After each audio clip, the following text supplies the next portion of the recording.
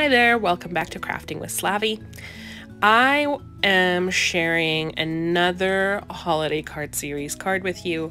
I like to call this one Berry Winter Picnic because I'm punny like that. Not really, but it just seemed fitting and appropriate. Um, so I am using the large slim line to make my background again. And then I also used the slimline stitch hillside borders to make the other two um, panels that go on the front of this card. Now I'm using tumbled, tumbled glass distress ink, pardon me, shaded lilac, and then milled vi wilted violet. My goodness, I can't even read anymore. Um, to make my my color blended background there. I did go back over it with tumbled glass just to kind of try and blend it all out. And then for my little hillsides, I took Chip's blueprint sketch. Oh my goodness, I really need to go to bed or something. I don't know. Um, I took blueprint sketch and just went around the edge here and you can see that I'm just using what's on my mat. Um, for the most part, not using a lot of ink because I didn't want it to get saturated um, like I did with a previous card because I am a little bit heavy handed, etc. etc. So after that was done, I um, did some water splatters on the background and then I took tumbled glass and wilted violet and smooshed that on my media mat and I used that to make water droplets as well on the background and just use a piece of paper towel to kind of dry it off. Now for my um, my snowy hillsides, I took Blueprint Sketch, smooshed it on my media mat and added some water and then use that for my water droplets. And I really like how this turned out actually. Um, made me really happy. So that kind of set my color theme for this card. So before I sign off I just want to talk a little bit about this. So I tried a new blend for Copics. It's BG70 and BG72. Yes. And um, you would think that being that close together, they would work really well, but I actually found that the color difference was quite stark between them. They didn't want to blend very well. So a little note about how to make Copics blend.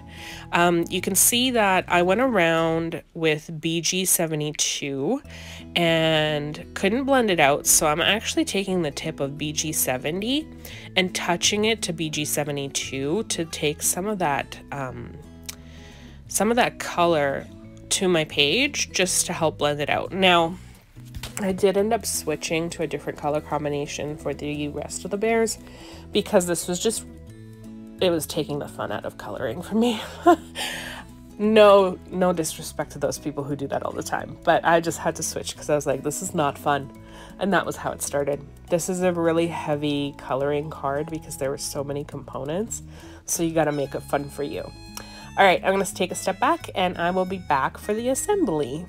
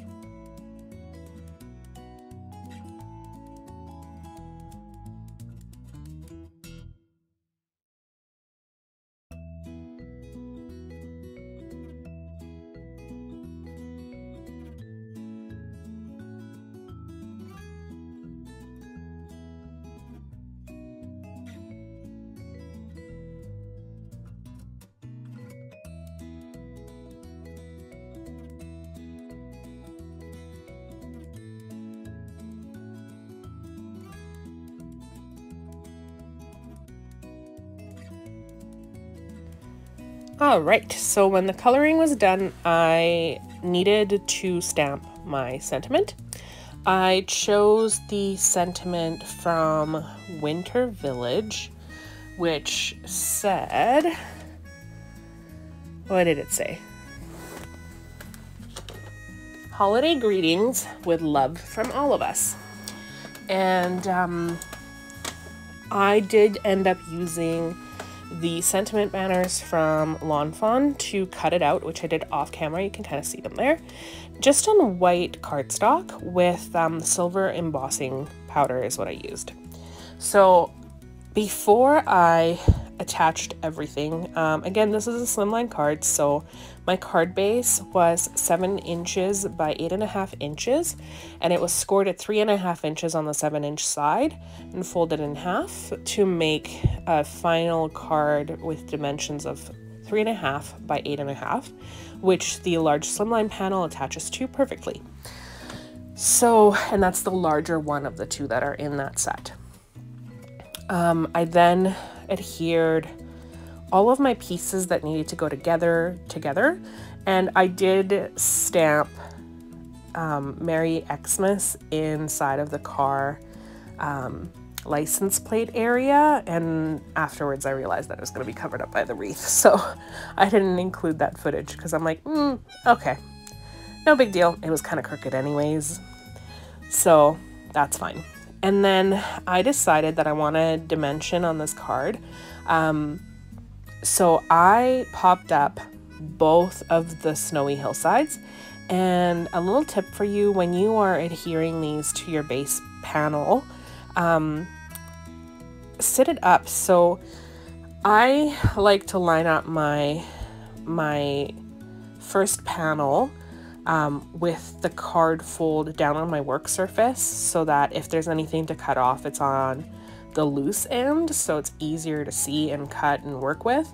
And then when I'm adhering my hillsides, it's actually really great so you don't have to modify the panel um, to adhere them when it's standing up on that edge like you saw me do. And then because we have so much dimension, all of my buildings, which are from Winter Village, I put um, a little bit of foam adhesive on the back and then used liquid glue as well to um, attach them to the little hillside. And I did that also for the bears, the car.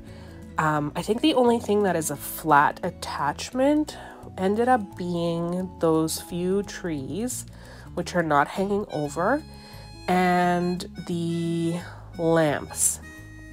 And i oh and um the the cloud smoky bits coming out of people's chimneys whatever they're called. I can't think. And um i also attached a few of the um, snacks from Crazy Antics to the bears as well, and then had the rest just laid out on the picnic um, blanket. And that was my kid throwing garbage at me. Let's not talk about it. um, so once all that was done, um, that's when I also adhered my little lamp posts because I wanted them to be visible, but I wanted to make sure that my bears were in there. Sorry, that was my face. And um, yeah, so that's pretty much it for this card. I'll um, take a step back and let you finish watching the rest of the assembly. It's pretty simple, just very, uh, a little bit more time consuming than my other holiday cards so far. And I think that this one actually ended up being my favorite. So if you haven't yet, please hit the subscribe button, hit the notification bell so you don't miss any future videos, and make sure you hit the like so that I know that you like this content and I can keep creating more of it for you. Thank you. Bye.